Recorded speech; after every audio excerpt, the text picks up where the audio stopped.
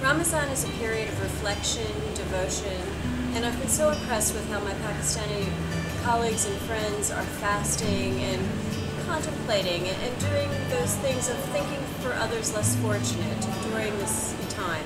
And particularly with Eid, which is a celebration, but again, at the same time, it's looking out for your fellow Pakistani, your fellow friend and human.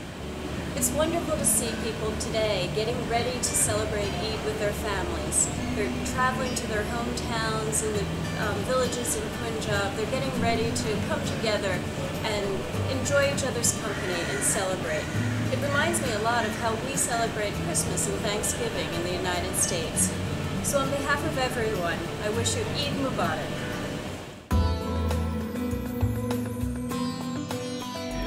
All of us at USAID wish you an Eid Mubarak. Assalamu alaikum.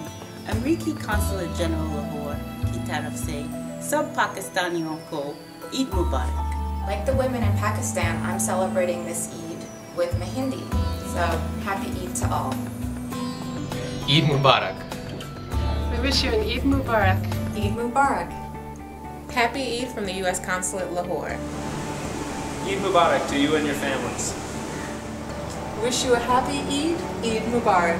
From all of us at Econ and the Foreign Commercial Service, we wish you and your family a very happy Eid celebration. तमाम पाकिस्तानियों को अमेरिकी council की तरफ़ से दिली ईद मुबारक हमें उम्मीद है कि आपकी ईद बहुत खुशगवार गुजरेगी